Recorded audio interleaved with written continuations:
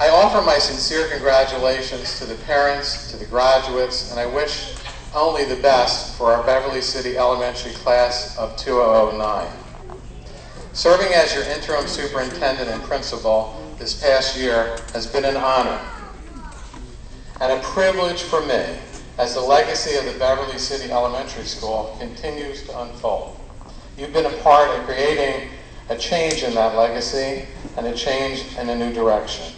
I'm extremely proud to play an integral part in maintaining the traditions of excellence that has become synonymous with students, staff, and parents and citizens of Beverly.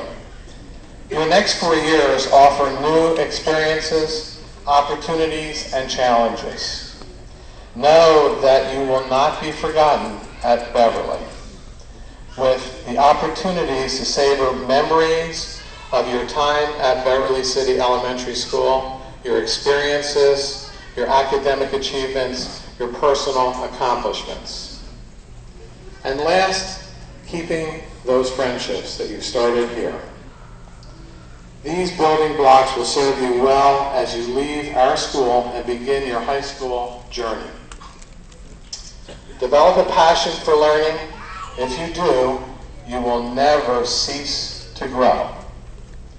It is my strong belief that you are truly ready to face the many wonderful and opportune experiences and challenges that await you in the high school of your choice, be it BCIT or Palmyra High School. I wish you great success in high school as well as life's future paths. Thank you.